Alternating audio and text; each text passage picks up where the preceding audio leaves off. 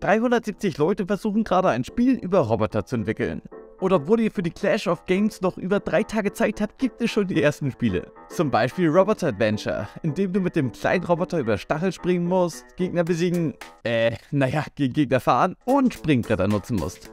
Es gibt sogar mehrere Welten. Robot Runner dagegen ist eine Art Geometry Dash, in dem du mit Sprüngen verschiedenen Hindernissen ausweichst. Besonders cool finde ich hier die zufällig generierte Welt. Und in Scissor Stone Paper spielst du Schere, Stein, Papier. Wow. Also abgesehen vom Thumbnail hat das nicht wirklich was mit Roboter zu tun. Ich fürchte, der wird wohl disqualifiziert.